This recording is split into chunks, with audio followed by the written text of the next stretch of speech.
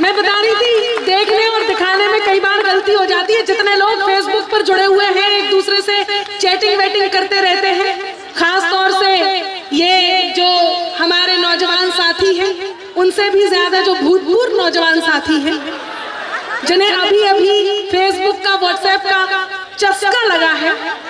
कई बार सामने वाले को वो देख नहीं पाते कि कौन है। बातें अच्छी होनी चाहिए और प्रोफ़ाइल यदि लड़की का है और यदि खूबसूरत लड़की का है। जैसे हमारी चांदनी पांडे जी। रूपा श्री जी। या या आप जिसे मानना चाहें। कई बार गलती हो जाती बाद में पता चलता है। हाँ मुझे पता था इस मोहल्ले से यही आवाज़ आएगी। मैं तो इंतज़ार कर रही थी।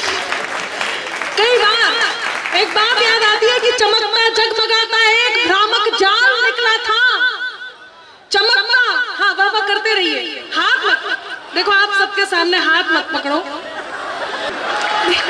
मैं मैं सिर्फ़ इनकी बात बता रही हूँ कि मैं बता रही थी कि चमकता, जगमगाता एक भ्रामक जाल निकला था। हुए ब्लैकमेल स्क्रीन शॉट से सब माल निकला था। हाँ इन्हें बिठाओ। बैठे। आप जितनी तेज़ी से आए और उस सोफे पर धस गए, मैं आपके इस कौशल को प्रणाम करती हूँ मैं बता रही थी सुने आदरणीय सलीम, शिवालवी जी। ध्यान से वो भी हालाँकि ऐसे ही बैठे हैं कि चमकता जगमगाता एक भ्रामक जाल निकला था। हुए ब्लैकमेल स्क्रीन शॉट से सब माल निकला था। और समझकर सुंदरी जिसको सनम दिन रात की चैटिंग, समझकर सुंदरी जिसको सनम दिन रात की चैटिंग, असलियत सामने आई तो सुंदर लाल निकला था। कई बार ऐसी घटनाएँ घट जाती है। मैं बहुत खूबसूरत पंक्तियों से आमंत्रण देती हूँ हमारे बीच जो शायर आने वाले हैं। कहती हूँ कि जहाँ पर सच दया सम्मान और ईमान रहता है, जहाँ पर सच दया सम्मान और ईमान रहता है, वहीं जाकर वो अल्लाह और वो भगवान रहता है। अगर है किसी के पाँव का कांटा आपकी तालियाँ तैयार रहें और मुझे एहसास कराएँ कि आप इन कवि को सुनना चाहते हैं, इन शायर को सुनना चाहते हैं, आप सीधे होकर के चलें। कि जहाँ पर सच दया, सम्मान और ईमान रहता है, वहीं जाकर वो अल्लाह और वो भगवान रहता है। अगर तूने निकाला है किसी के पाँव का कांटा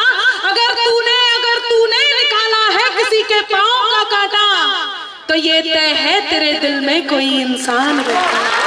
जोरदार तालियाँ हो सलीम शिवालंग कुछ ऐसे लोग हैं नामर्द को भी मर्द कहते हैं। ये बिच्छू को मसीहा सांप को हमदर्द कहते हैं। यहाँ जो अमन मिल्लत और वफादारी से रहते हैं उन्हें ये तंग नज़र हर वक्त दहशत गर्द कहते हैं। वाह वाह वाह वाह। यदि आपकी इजाज़त हो तो बिल्कुल। सांप बिच्छू पर मुझे भी कुछ याद आया यदि इजाज़त हो सुने कि बित्ते होकर खुद को गज का नाप समझने लगते हैं बित्ते होकर बित्ते बित्ते होकर खुद को गज का नाप समझने लगते हैं। जरा बड़े हो बच्चे खुद को बाप समझने लगते हैं। और शायरी हो और बात पहुँच जाए तो आपका मन चाहिए कि जरा बड़े हो बच्चे खुद को बाप समझने लगते हैं। और एक दो चीटी जिनकी अंबर राह छोड़कर निकल गई, वही केचुए खुद को अक्सर सांप समझने लगते हैं क्या कहें मेरा मन है कि आपकी शायरी यहाँ तक पहुँचे। बहुत शानदार लोग सुन रहे हैं। बिल्कुल बिल्कुल। वो चमक वो निखार अब भी है। कुछ भी बदला नहीं खुदा की कसम आशिकों की कतार। आशिकों की कतार अब भी है। मैं पूरे सम्मान से आपका बहुत अभिवादन करती हूँ। और इस मंच से नमन पहुंचाती हूँ और एक छोटी सी बात कह के आपको शायरी के लिए आमंत्रण देती हूँ। कहती हूँ कि जैसा तन दिख रहा वैसा मन कीजिए। जैसा तन दिख रहा वैसा मन कीजिए। ऐसा वैसा न कोई जतन कीजिए। और तीर्थ के दौर में प्रेम करते नहीं। तीर्थ के दौर में प्रेम करते नहीं ये उम्र है भजन की भजन कीजिए आप आप भजन जैसा कुछ सुनाएँ लोग सुनना चाह रहे हैं। ये काशिया यहाँ पी पी के काम चला लेते। देखिए, फिर उन्होंने छेड़ा